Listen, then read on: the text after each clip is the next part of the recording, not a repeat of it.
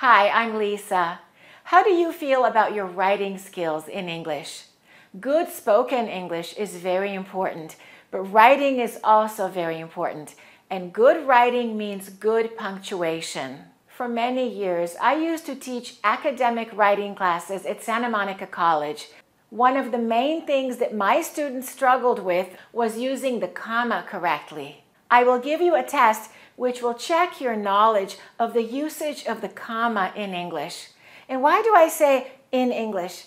Because comma rules can be different in different languages. If your native language is not English, maybe you learned different rules about the comma. And if you are a native speaker of English, this video will help you also. I know that some native speakers watch my videos. This is an opportunity for you to review those rules that you learned maybe in high school a long time ago. Maybe you forgot some of these rules. Let me tell you about how this test will work. For each question, you will see two sentences, sentence A and sentence B. Sentence A has the commas and sentence B does not and I want you to decide which one is correct, A or B. I will give you some time to think, and then I will give you the answer and I will teach you the rule. Anytime you would like to skip to the next question, you can follow the time markers that I wrote below. That way, if you don't want to listen to the whole explanation, you don't have to. Okay, let's look at the first sentence. The students who study hard for the test will get an A. Which one is correct? Do we need the two commas or not? What do you think? Is it A or B? The correct answer is B, no commas. Let me teach you the rule. Who study for the test is called a relative clause. We have two different types of relative clauses. We have restrictive relative clauses and non-restrictive relative clauses. When a relative clause is restrictive, that means it is essential to the meaning of the sentence. So let's take out who study hard for the test. And now the sentence is, the students will get an A. Has the meaning changed? Yes, it has. Not all students will get an A, only the students who study hard for the test will get an A. Therefore, the relative clause is essential to the meaning, and that's considered a restrictive relative clause.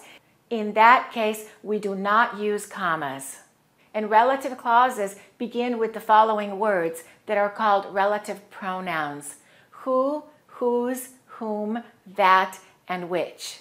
Let's look at question number two. It's similar to question number one. Which one is correct, A or B?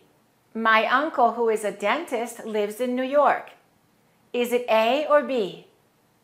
Commas or no commas? If we take out the relative clause, who is a dentist, and we say, my uncle lives in New York, the sentence still makes sense. So the correct answer is A. We would put those commas. However, there is an exception. What if I have two uncles? One uncle is a dentist and one uncle is a doctor. In that case, you might be confused about which uncle I'm talking about. If I want to clarify that I'm talking about the uncle who is a dentist and not the uncle who's a doctor, then we would not have the commas because now it's a restrictive relative clause. It's essential to the meaning of the sentence. You need that information to know what I'm talking about. So that means no commas with that sentence. Before we go on to the next question, I'd like to give you a few more example sentences to make sure you understand this concept. Let's look at this sentence. Los Angeles, which is a big city, has a lot of traffic. Which is a big city is just additional information in describing Los Angeles.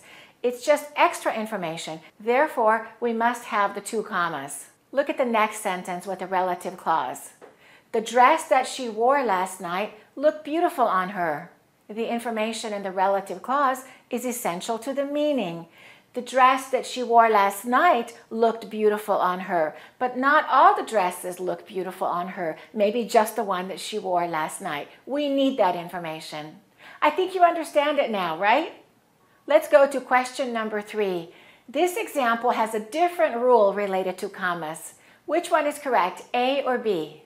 I couldn't call you yesterday because I was studying for a test. Do we need a comma before the word because? That's a common question that my students have asked me in the past. Do you know the answer? Is it A or B? To keep it simple, I will explain it this way. When because is in the middle of a sentence, no comma. But now let me explain it in grammatical terms. Let's look at the word because. Because is a subordinating conjunction. Subordinating conjunctions follow specific comma rules. Before I teach you that rule, let me give you a list of other subordinating conjunctions. After, although, as long as, before, even if, even though, if, until, when, whenever. And now let me explain to you how they work. Let's go back to our original sentence. I couldn't call you yesterday because I was studying for a test. Let's look at the first part. I couldn't call you yesterday. That's a complete sentence. That's also called an independent clause. The sentence can stand alone. It's a complete sentence. But look at the next part. Because I was studying for a test. That's not a complete sentence. That's called a dependent clause. It's dependent. It's not independent. So when we have an independent clause, followed by a subordinating conjunction such as because or when or even if or after or before. And then we have a dependent clause, no comma, before the subordinating conjunction.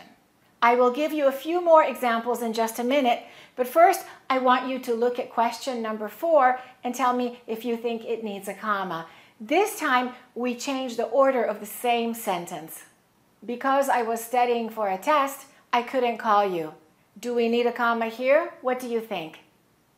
Is it A or is it B? It's A. Yes, we do need a comma. So when the subordinating conjunction is in the beginning of a sentence, then we put a comma after the dependent clause. Let's practice that a little bit more.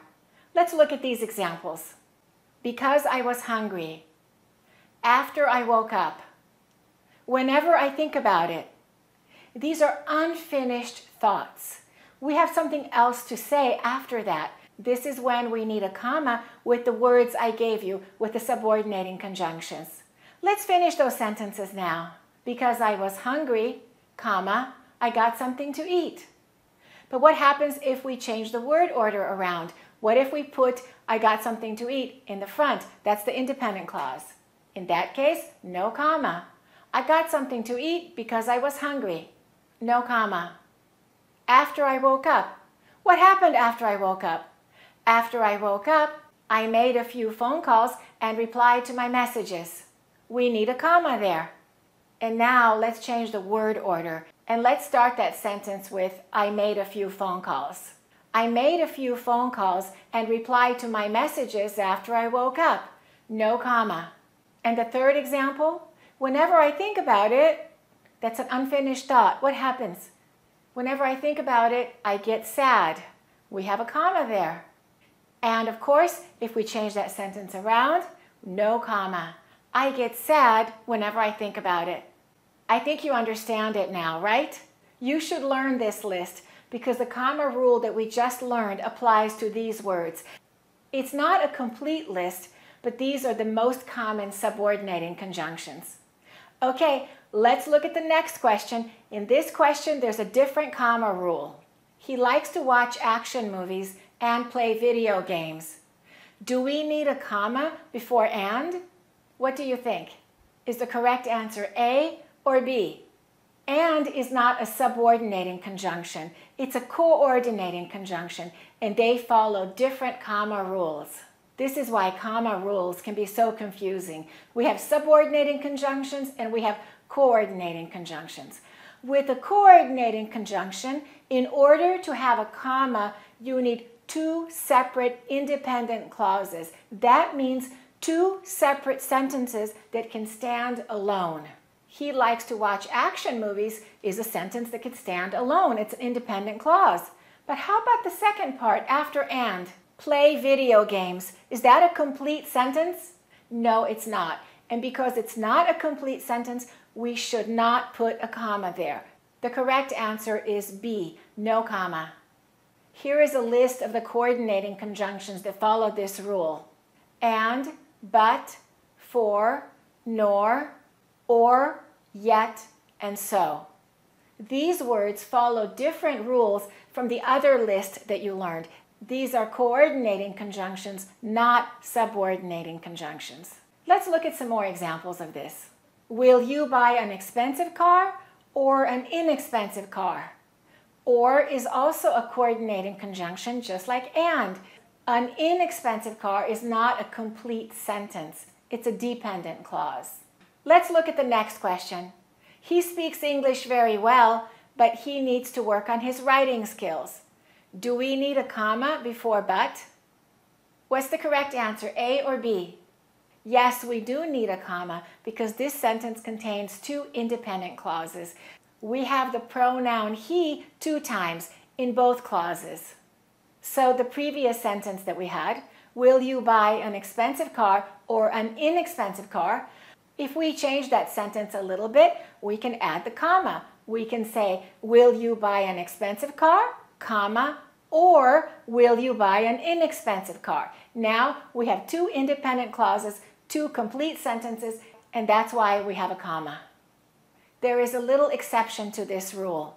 When both of the sentences are really short, you don't have to put a comma. For example, we sang and we danced. That's a very short sentence. In that case, you don't necessarily need a comma. Or, I was hungry, so I ate. A comma is not necessary there, even though both of those are complete sentences. How did you do on the commas test? Let me know in the comments below. And by the way, this is not a complete list of commas rules. This is just a partial list. I recommend that you learn all the rules related to commas, but not only to commas, but to all of the different punctuation marks, such as the quotation mark and the exclamation point, a colon, a semicolon, a dash, a hyphen, an asterisk, parentheses. All of these things are very important to know if you're going to be a good writer. To help you learn the punctuation rules of English, there are a couple of books that I recommend and I put them in the description below. One of them is called The Blue Book of Grammar and Punctuation. This book is written for native speakers of English. However, if you're an advanced student of English, I'm sure this book will be useful to you. It's not that difficult to understand. My favorite part of the book is the second part that deals with punctuation rules in detail. The first part deals with grammar, but I actually believe that these grammar rules are not necessarily as difficult for non-native speakers as they are for native speakers. But I think the book in general is quite good, but its main strength is teaching punctuation rules really clearly. And the second book is called The Elements of Style. This is a classic. Millions of people have bought this book in the United States and it's helped them with their writing. It's existed for many years. It's a small book. It's more like a manual that just gives lots of different rules. It's filled with a lot of information that will definitely help you with your writing skills if you're already an advanced learner of English. Thanks for watching and keep practicing your English. To get the two courses, the American Accent course and the 400 advanced words you must know for fluent English, go to accurateenglish.com.